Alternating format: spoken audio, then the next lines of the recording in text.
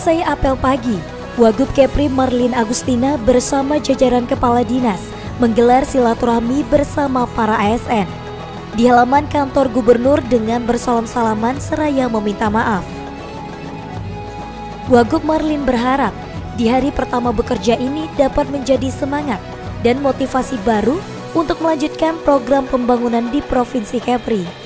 Dengan uh, tahun yang baru, uh, doa kita selama bulan Ramadan itu mudah-mudahan dijawab Allah uh, membuat Kepri menjadi lebih baik lagi ke depannya. Ini tidak bisa sendiri kita bekerja, tapi perlu tim yang sangat solid di dalamnya itu membangun uh, SDM, pembangunan, uh, kesejahteraan masyarakat itu tidak tidak hanya pemerintah saja, gubernur, wakil atau Pak Sekda tidak, tapi seluruh OPD harus bersinergi bersama-sama untuk membangun Kepri.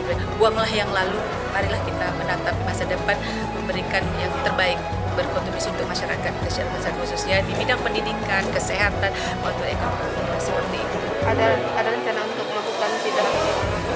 saya rasa dah kita dah lihat sendiri kok dah ramai. Takut orangnya.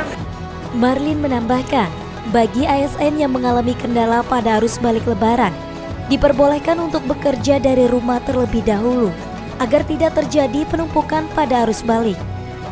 Dirinya juga menghimbau kepada ASN Pemprov Kepri yang akan menggelar silaturahmi pada saat momen lebaran agar tetap memperhatikan protokol kesehatan. Dari Tanjung Pinang, Kepulauan Riau, Ardian Syahputra, UTV mengabarkan.